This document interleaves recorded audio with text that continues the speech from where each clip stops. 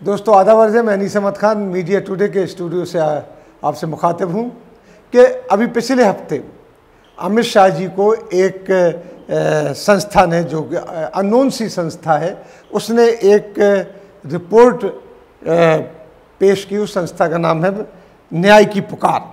उसने एक दिल्ली के दंगों के ऊपर एक उन्होंने उनको रिपोर्ट सुपुर्द की, वो रिपोर्ट अठहत्तर पन्नों की है उसके बाद मानो कि स्पेशल पुलिस है जो दिल्ली की, जो इन्वेस्टिगेशन कर रही थी दंगों की, वो चार्जशीट फ़ाइल नहीं कर रही थी।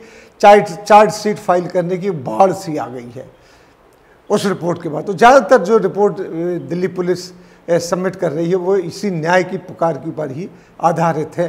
लिहाजा शक की सुई हम पत्रकारों की चलती है और उसके बाद हमें आपको बताते हैं किस तरीके से वो रिपोर्ट और दिल्ली पुलिस की रिपोर्ट, उसके चंद पॉइंट ऐसे हैं जो आपस में मिलते हैं।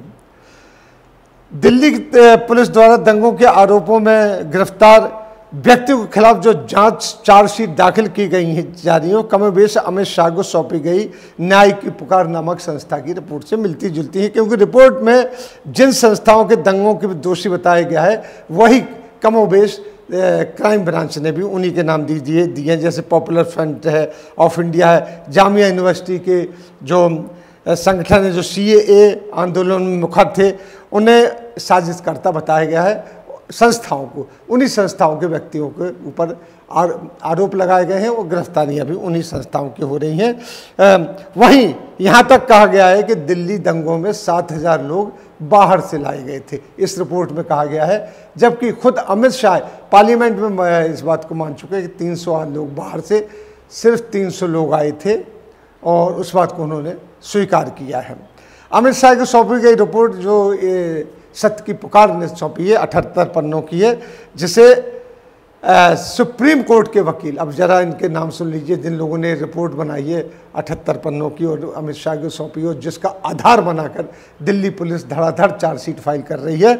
उसमें जो है वकील नीरज अरोड़ा हैं जो कि अपने आप को साइबर क्राइम एक्सपर्ट भी कहते हैं और सरकारी जा, जाँच एजेंसी जो NIA उसके वकील भी हैं। यानी सरकार से कितना करीबी रिश्ता है इनका, इससे अंदाज़ा हो जाता है आपको। दूसरे जो हैं जिसमें इलाहाबाद हाई कोर्ट के पूर्व जज हैं, S N Srivastava. S N Srivastava जो कि एस एन श्रीवास्तव जो कि सी ए कानून को एक मोदी सरकार का साहसिक कदम पहले से ही कह चुके हैं। पूर्व न्यायाधीश जो श्रीवास्तव साहब हैं, मुसलमानों को दूसरे दर्जे का नागरिक स्वीकार करने की बात ही नहीं करते हैं, वो तो कहते हैं नागरिक ही नहीं है। और गीता को ये कहते हैं कि राष्ट्रीय धर्मशास्त्र की मान्यता दी जाए। और हरदम ये ऐसे फैसलों की ही पर ही टिप्पणी करते हैं, जो कि दक्षिणपंथी धड़ा है, उसके मतलब की रिपोर्ट्स होती हैं। इस न्यायिक पुकार में फॉर्सनिक एक्सपर्ट भी हैं डी एस डोंगरा साहब भी शामिल हैं। जो फॉर्चुनिक एक्सपर्ट हैं, जो जाँच करते हैं, जब कत्ल वगैरह होता है उन्होंने इस जहाँ तुलसी प्रजापति और सौराबुद्दीन शेख की गुजरात पुलिस के लिए फॉर्चुनिक रिपोर्ट तैयार की थी, जिसमें उन्होंने गुजरात पुलिस को क्लीन चिट दे दी थी। आपको याद होगा कि ये मर्डर मोदी जी के जब चीफ चीफ मिनिस्टर थे गुजरात के, तब हुआ है। और हमारे जो गृह मंत्री हैं इस वक्त, अमित शाह जी, वो वहाँ के गृह मंत्री थे। गुजरात के। तब ये रिपोर्ट तैयार की गई थी। अब इससे अंदाज़ लगा दीजिए कि ये कितने करीब हैं सरकार के। जाँच टीम के प्रमुख जो है नीरज अरोड़ा, खुद को, खुद इस बात को स्वीकार करते हैं कि इस जाँच रिपोर्ट में हमने मुसलमानों से बात नहीं की। अब उनसे पूछा गया कि आपने मुसलमानों से क्यों बात नहीं की टेलीफोन पे? तो उन्होंने ये कह दिया कि मुसलमान किसी का इंतज़ार कर रहे थे कि जब वहाँ से उनको ऑर्डर मिलता तब वो बात करते। ये कह के उन्होंने अपना पल्ला झाड़ लिया। इससे पहले भी आरएसएस की एक करीबी वकील मोनिका अरोड़ा ने कुछ इसी किस्म की एक रिपोर्ट सबमिट की थी। जो कि ज़्यादा चर्चा में नहीं रही है, लेकिन वो सबमिट की थी, तब हम लोगों ने उसकी खबर भी दी थी, वो भी कुछ इसी तरीके की थी। अब देखने की बात है कि अमित शाह जी, गृह मंत्री, ऐसे लोगों को दावत दे देते हैं, उनकी रिपोर्ट स्वीकार भी कर लेते हैं, जब वो देने जाते हैं। भाई, देखिए, गृह मंत्री से एक अपॉइंटमेंट बहुत मुश्किल से मिलता है, मुश्किल से मिलता है, जब बाकायदा जाँच के साथ मिलता है कि किस बात के लिए जा रहे हैं तो ये कहा गया होगा कि हम उनको एक रिपोर्ट सौंपने जा रहे हैं। तो उन्होंने दिया, उन्होंने उस रिपोर्ट को हाथ में लिया, उस रिपोर्ट के बाद जो चार्जशीट दाखिल करने की बाढ़ आई है, वो एक देखने काबिल है। उसमें कम वेश वही आरोप है जो मन की पुकार की, जो जाँच रिपोर्ट का नाम है, उन्होंने उसमें लगाए हैं।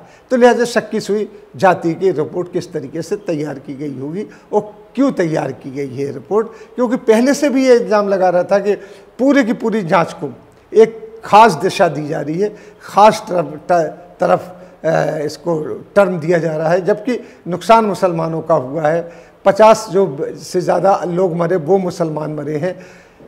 इसके पहले जो दंगा भड़काने के आरोपी दूसरे ग्रुप के लोग थे जिस, जिसमें कपिल मिश्रा अनुराग ठाकुर जैसे लोग थे। उनको बिल्कुल टच भी नहीं किया जा रहा बाकी सब तमाम लोगों को इसमें इन्वॉल्व किया जा रहा है और उनके चार्जशीट में नाम भी दिए जा रहे हैं उनको जेलों में बंद किया जा रहा है। ये बताने का मतलब ये था कि एक तरफ़ दिशा दी जा रही है पूरी जाँच रिपोर्ट को, और कैसे पुलिस की रिपोर्ट तो अभी कोर्ट में जाएगी जब देखिए उसके साथ क्या होता है। मेरे बताने का मतलब ये था कि आप जो रिपोर्ट एक ऐसा अजीब एक अननोन संस्था पेश करती है, उसी के आधार पर बाकी जो चार्जशीट दाखिल होना शुरू हो जाती है एक गंभीर मसला है। इसी के साथ हम आपसे लेते हैं विदा।